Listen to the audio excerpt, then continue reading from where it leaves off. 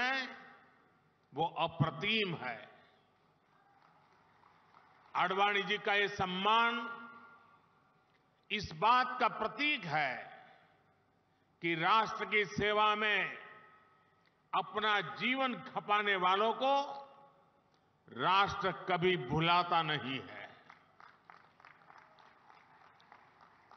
मेरा सौभाग्य रहा कि लाल कृष्ण आडवाणी जी का स्नेह उनका मार्गदर्शन मुझे निरंतर मिलता रहा है।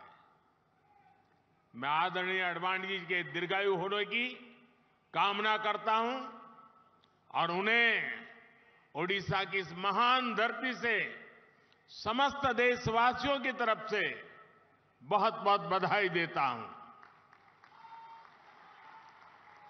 साथियों, हमने ओडिशा को शिक्षा का, कौशल विकास का एक महत्वपूर्ण केंद्र बनाने के लिए निरंतर प्रयास किए हैं। बीते दशक में ओडिशा को जो आधुनिक संस्थान मिले हैं, शिक्षा संस्थान मिले हैं, वो यहाँ के युवाओं का भाग्य बदल रहे हैं। आयसर ब्रह्मपुर हो या भुवनेश्वर का इंस्टीट्यूट ऑफ़ केमिकल टेक्नोलॉजी ऐसे अनेक संस्थान यहाँ स्थापित किए गए हैं। अब आईआईएम संबलपुर भी।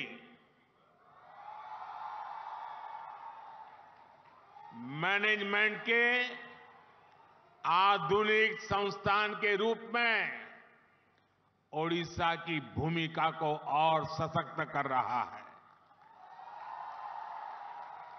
मुझे याद है, तीन साल पहले कोरोना काल में ही मुझे आईआईएम के इस कैंपस के शिलान्यास का अवसर मिला था।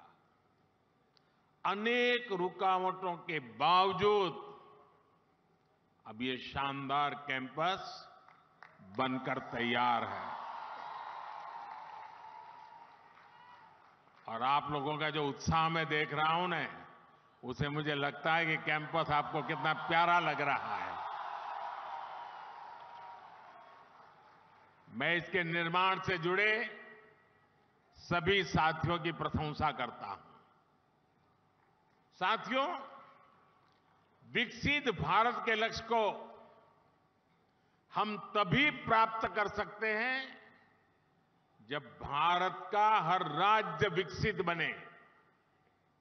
इसलिए बीते वर्षों में हमने ओडिशा को हर सेक्टर में अधिक से अधिक सपोर्ट किया है। केंद्र सरकार के प्रयासों से ओडिशा आज पेट्रोलियम और पेट्रोकेमिकल के क्षेत्र में भी नई ऊंचाई प्राप्त कर रहा है। पिछले दस सालों में ओडिशा में पेट्रोलियम और पेट्रोकेमिकल क्षेत्र में सवा लाख करोड़ रुपए से अधिक का निवेश किया गया है। बीते दस वर्षों में, पहले की तुलना में रेलवे के विकास के लिए उड़ीसा को 12 गुना ज़्यादा बजट दिया गया है। बीते 10 वर्षों में प्रधानमंत्री ग्रामीण सड़क योजना के तहत ओडिशा के गाँवों में करीब पचास हज़ार किलोमीटर सड़कें बनी हैं। राज्य में चार हज़ार किलोमीटर से अधिक नए नेशनल हाईवे का निर्माण भी हुआ है।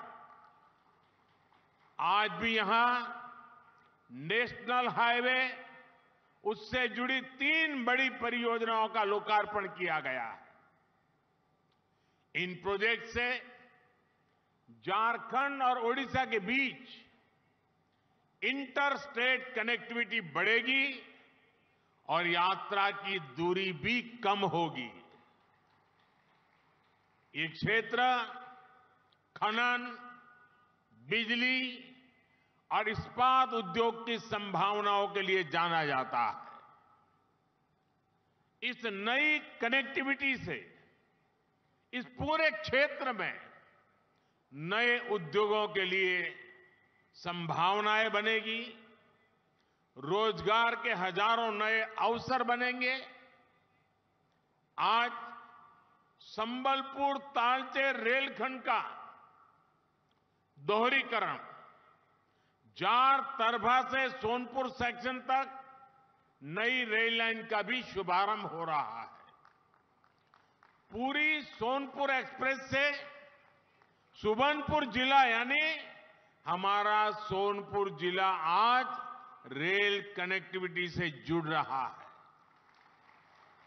इससे श्रद्धालुओं के लिए भगवान जगन्नाथ का दर्शन करना और आसान हो जाएगा। ओडिशा के हर परिवार को पर्याप्त और सस्ती बिजली मिले, इसके लिए हम निरंतर प्रयासरत हैं। आज जिन सुपर क्रिटिकल और ultra super critical thermal plants का उद्घाटन यहाँ हुआ है। उनका लक्ष्य भी यही है। भाई और बहनों, बीते दस वर्षों में केंद्र सरकार ने जो नीतियाँ बनाई है, उनका उड़ीसा को बहुत अधिक फ़ायदा हुआ है। हमने खनन के क्षेत्र में जो नए रिफॉर्म किए हैं ओडिशा, उसका बहुत बड़ा लाभार्थी रहा। है खनन नीति में बदलाव के बाद ओडिशा की आय में 10 गुना की वृद्धि हुई है। पहले खनिज उत्पादन का लाभ उन क्षेत्रों और राज्यों को उतना ही मिल पाता था जहाँ से खनन होता है। हमने इस नीति को भी बदला। केंद्र की भाजपा सरकार ने डिस्ट्रिक्ट मिनरल फाउंडेशन का गठन किया। इसे खनिज से हुई आय का एक हिस्सा उसी क्षेत्र में विकास के लिए लगाना सुनिश्चित हुआ। इससे भी ओडिशा को अब तक करीब करीब पच्चीस हज़ार करोड़ रुपए से अधिक मिल चुके हैं। ये पैसा जिस क्षेत्र में खनन हो रहा है, वहाँ के लोगों के कल्याण के काम आ रहा है। मैं ओडिशा की जनता को आश्वस्त करता हूँ कि केंद्र सरकार इसी समर्पित भाव से ओडिशा के विकास के लिए काम करती रहेगी।